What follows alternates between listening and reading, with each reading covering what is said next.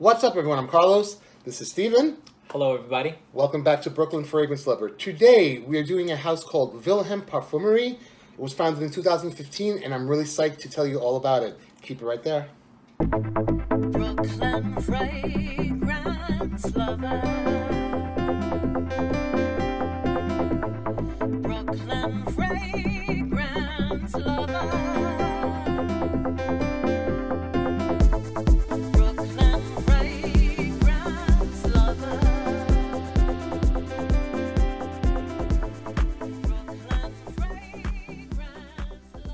Lover. Vilhelm Parfumerie.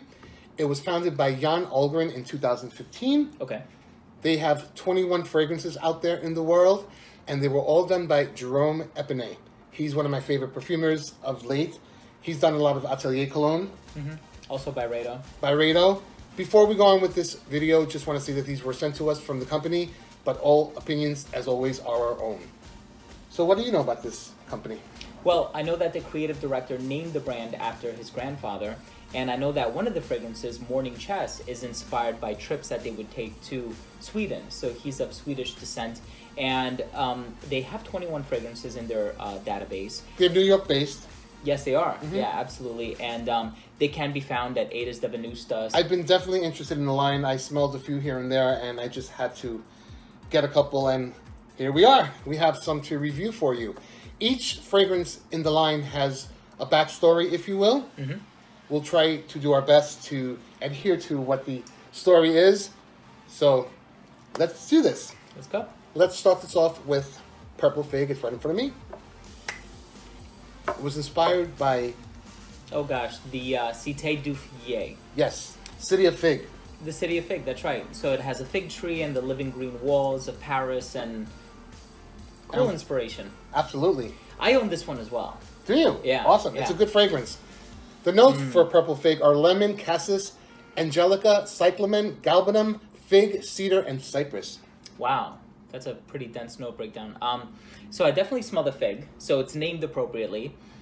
Um, so cassis is an interesting note. It comes from the leaves and the buds of the black currant plant. It works really well here. You know, um, usually cassis or black currant, if you smell it in its raw form, it has like a really strong musky smell. I don't really get that from this. It just smells very ripe and juicy and tart and Can I get a word in here? Go All of the above. Your turn. All of the above. It's very lush. It's very. yeah, The fig is present.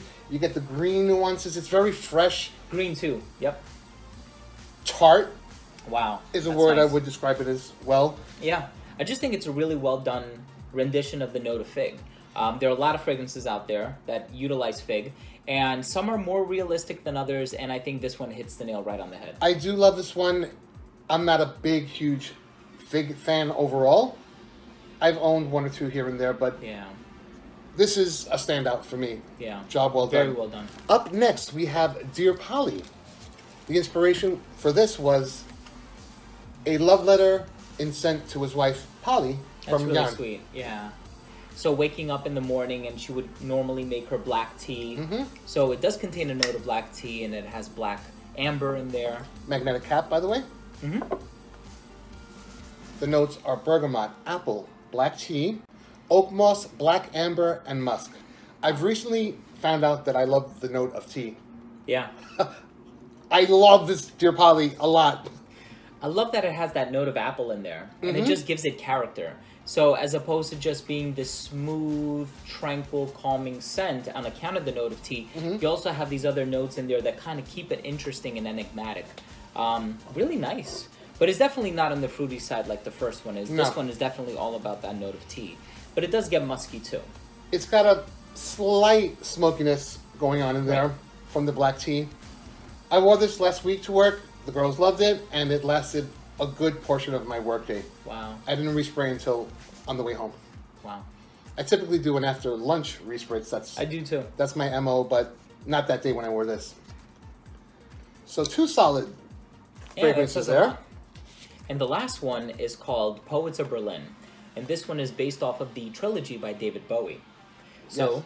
here you go. What are the notes for this guy here? So the notes are blueberry, lemon, bamboo, green wild orris, vanilla bean, sandalwood, and vetiver.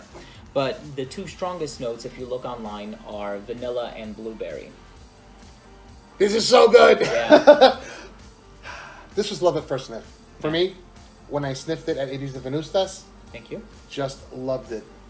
This is great. It's full. It's sweet. You have to be in the mood for a sweet fragrance, but it's not chemically or or synthetic sweet bomb in any way. It's really natural. You get that. I get an accord of blueberry and lemon. Yes. It's just yes. to die for. So, I love it. I really, really do like that one. So the funny story with this one is Carlos had me try it a few months ago. You had me smell the sample, and I was like, "Oh my god, this is really good. What is this?" and you're like, you didn't want to tell me as I was smelling it, and then you were like, "Oh, it's you know, it's by Vilhelm," and uh, we got to talking about it, and I really enjoyed this one ever since then. And it has this gorgeous vanilla note. Like you said, it's not overly sweet, it's not synthetic, it has a natural appeal about it. And what I like the most about it is that it's not cloying, but it's done in such a sophisticated way that even though Agreed. it is in gourmand territory, it has all of these other elements really grounding it. Yeah, I find that the whole aesthetic of the line is that they're all full fragrances. You get your money's worth. They're two forty five for a one hundred ml bottle, which these are. Doesn't look like it. Yeah, it doesn't look like it because it has this compressed look to it, but it's a really cool presentation. It has the ridges on the outline, and uh, it's actually inspired by a classic esthetic And the entire brand, like we said earlier, is inspired by the creative director's grandfather. So he was very sort of debonair, charismatic gentleman. They offer 10 mil travel sprays that look just like this with the ridges. I'll show you a picture of the packaging and the travel sprays as well.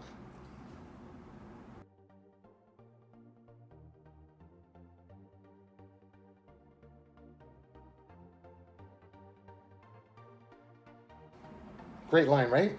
I love it. I love it so far. And it's quite often that we'll do an overview on a particular house or a particular line, but there's always like a favorite and there's always one that we don't care about so much. In this case, it seems like everything that I've tried, I've really enjoyed. You know, and it really takes me to a different place or a different time, and that's kind of what these are inspired by. Different moments, different trips, different memories, so It's a great US based niche line, for Yeah. sure. I want to smell more! I want to smell all 21! We do have some samples. We do. But uh, only six for today. But um, what is the next one called? This one is called Morning Chess, Hmm. which was inspired by. Yeah, this is the one that was inspired by, I believe it's called Falkenberg, and it's in Sweden. Okay. And they would go there uh, for summer vacation, and um, the creative director, I believe with his brother and his grandfather, would just wake up early in the morning and would play chess and For you know, test their wits. And um, I love this one. Are you a chess player? I used to be. I, yeah, I, it I'm you would be. I can see that. I'm not. Uh, I haven't played in a long time though. But this one, uh, you want to go through the notes? Sure. Okay. Uh, 2015 release bergamot, leather, galbanum, patchouli, and black amber. So the galbanum gives this nice green, open vibe about it. And what? Are you getting it too? I love it. Yeah. I love it. Isn't it great? It has it has a hint of the king, Uh huh. Yeah. but I think the the darker aspects of The of darker, greener aspects Yeah. of it. Yeah. Oh, I like that. Yeah. I'm gonna put that, That on screen really later. good. Yeah. Yeah, you should. So that's Um, called Morning Chess. That's when I would get a bottle of morning chess. All right. Yeah. Black citrus is another one that I really enjoy. Mhm. A lot of citrus fragrances are kind of fleeting and airy. This is called black citrus, and it's got a real depth to it. Okay. Black citrus came out in 2015, part of the original collection. The notes are cardamom, Calabrian, bergamot, mate, violet, patchouli, and birch. Wow. Black citrus, That's an interesting one. I think so too. You know, I got to thinking, I saw the name initially and black citrus, so of course there's citrus in there and it comes across quite strong and natural and it's very well done. But then the black designation, like, it, does that make it appropriate for the colder months as well? And funny enough, it is. Like, this is a citrus that I would wear in the fall and winter. That will- Probably apply a bit heavier, but. But um, it'll withstand the cold. I think so. I mean, it has the cardamom and the birch and all these spicy and smoky elements about it. It's a it's a really interesting blend. It smells much better on skin because I have smelled it on skin than that paper I believe you. That paper doesn't know justice. It smells magnificent on skin. It blooms. It's a bright, realistic citrus with the darkness that lies underneath. It mm-hmm. really works. I like it a lot. I look forward to wearing that one on skin. So check it out next time you're at Will Aedes do. de Venustas. Will do. The last sample that we have, which was sent to us by Aedes of Venustas, of course, is Smoke Show. That one sounds like it's going to be good. There you go, Thank sir. you, my friend. Part of the original lineup of 2015 pink pepper, saffron, rose oil, leather, vetiver, cedar, and agarwood. I get all of that. Everything you said, that's what I smell. I get the oud. I get the saffron. They do also have an oud offering. It's called the Oud Affair. Mmm. Actually, I get a lot of vetiver from this. And that's only because it reminds me of Lorenzo Villoresi's vetiver. That's That's really a good one. That's a classic. Yeah, yeah, it is. I smell a lot of vetiver. It's very daring, very rich and robust. Vetiver shines through on this Yeah. for sure. Mm-hmm. But that's like, I mean, so it's called smoke show, right? It's like you're, you know, in a bar and you have that ambiance about it, and you have jazz music playing in the background, people smoking their cigars. Surprisingly enough, tobacco isn't a note. I You was tobacco? tobacco. Uh, I don't. No. I'm getting a smoky vetiver is what I yeah. got from It is that. smoky. It is smoky. And yeah. again, on skin, way better than that test strip. Mm, So I think we need to go visit Aedes of and go through the whole Vilhelm line. yeah, and there are a lot of other really good ones that I've tried. And uh, we also smelled uh, Don't Tell Jasmine recently. That one is also very nice. Beautiful. It's a Yeah. it's a jasmine bomb. If you're a jasmine fan, it's more feminine. It, it's a little too it's a little too feminine for my particular taste, and I'm not the biggest jasmine fan, but it's well done. I can I can well definitely done, appreciate well it. done. And it wasn't overly indolic, from No. what I remember. Indolic, that means like kind of poopy smelling, kind of like a lot of oud smell, but that's another video, I suppose. Yeah. Thank you for joining in. Of course, Carlos, anytime. How awesome was this line? I love it. I love it. Like Love, you love, said, love. I'm gonna have to take a stop at, you know, Aedes Over there. over there, right off the path train, Hope you enjoyed this presentation of Vilhelm. Steve and I had a lot of fun doing this. for sure. We have quite a few of the line, not the entire line. I believe there are 16 samples from Vilhelm. For one lucky subscriber, all you have to do is subscribe to Brooklyn Fragrance Lover, subscribe to Steven Redolessence, Thank you. like and share this video, then leave one comment down below with what you enjoyed most about this presentation of Vilhelm. If you're new to this channel, please do consider subscribing. If you've been a subscriber, click on that bell icon so you don't miss notifications on new reviews, new content, giveaways, and all the fragrant fun always happening here at BFL. Don't forget, vote.fragrance.org. We appreciate it. See you at the next review. Bye, everyone.